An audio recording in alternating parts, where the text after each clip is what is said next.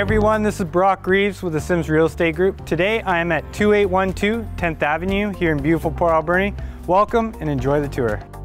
As you can see, the exterior of the home is well maintained and welcoming. The front porch provides a perfect spot, enjoying your morning coffee or welcoming guests. Inside, the living room boasts plenty of natural light and ample space for entertaining or relaxing with the family. The neutral color scheme allows for easy customization to make the space truly your own.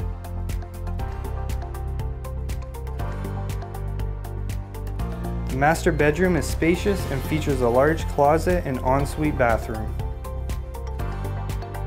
The two additional bedrooms are also generously sized with plenty of closet space and large windows that let in lots of natural light.